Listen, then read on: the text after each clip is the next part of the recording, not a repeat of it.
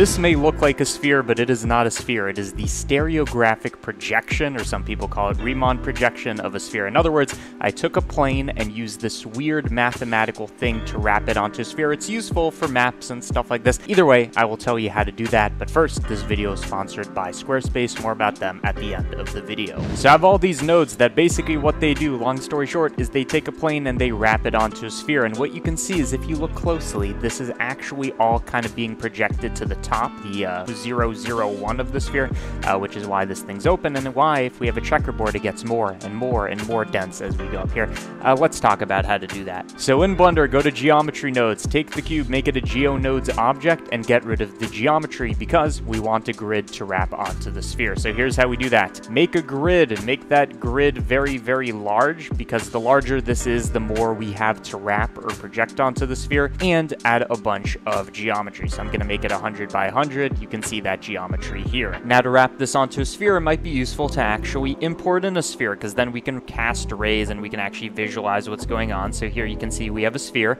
and just so we can actually see what's going on here, I'm going to take my grid and lower it by one unit. This is technically not stereographic projection anymore, but I don't give a fuck. And our goal is to take a point on the grid, and this is for any point on the grid, and project it towards the sphere, especially in the direction going to the top, 001, and we want to see where this intersects the sphere because this is going to tell us where to send each grid point to the sphere such that each one has a unique individual point. Uh, how do we get this vector, this uh, direction? Well, uh, we know the point or the position of the point uh, on the grid. We have that vector. Uh, we also know which direction we're projecting in. We're going vertically uh, towards 001. Um, in other words, this vector, this thing that we need to send it that way. It is essentially this 001 vector plus or minus the negative of the uh, position vector because you can see it makes this triangle. Let's cast some rays. So you can see I added a ray cast node. What are we casting towards? The sphere, and we want to cast in the direction of 001 minus the position, that triangle I drew. This is going to give us the hit position of all these new things. So in other words, we can take our grid now, and we want to send or set the position of, since we're sending these points, we want to reassign the position. Uh, we want to set the position to this new hit position. Where is it going to hit the sphere. And you can see all of a sudden we get this uh, weird sphere looking thing. To get more of a dynamic uh, simulation, by simulation I just mean animation, uh, we are going to mix between this and the position. So our kind of Riemann stereographic projection and our original grid points. And you can see, whoa, this is now uh, doing the stretchy stretch. Again, uh, this works because we're sending it towards a sphere. If we wanted to be fancy schmancy, we could send it, I mean, it wouldn't make much sense, but we could send it towards a cube or we could send it towards any uh, geometry. So this is kind of the generalized Riemann projection, the stereographic projection. And uh, another thing to notice is at the very top of the sphere, it's kind of open, and that's because we ran out of grid uh, to use. So the bigger we make the initial grid, the more it's going to close the top, as you can see, the more it's going to close the top of the sphere, but also the lower resolution it's going to be.